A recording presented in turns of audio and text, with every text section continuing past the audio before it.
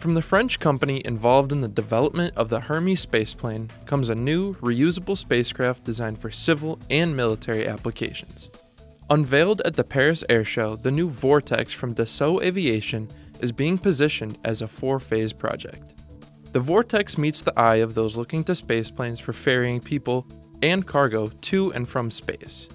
Cashing in on previous experience, Dassault received about 30 million euro or about $35 million, from the French Ministry of Armed Forces to help fund the development process. Phase 1 uses a one third scale of the Vortex craft, measuring about 13 feet long.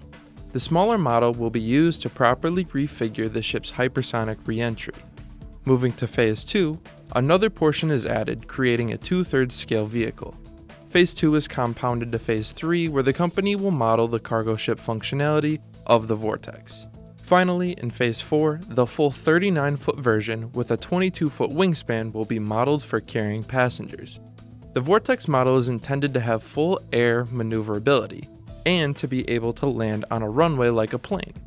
But the model is also being designed to fire off from the top of a rocket with no fairing, a protective casing that's discarded once the rocket meets space. Fully reusable, the payload bay is made for a variety of potential uses. Dassault mentions ferry to space stations, satellite recovery, counter military, refueling depot tending, and even an option as an autonomous orbital platform.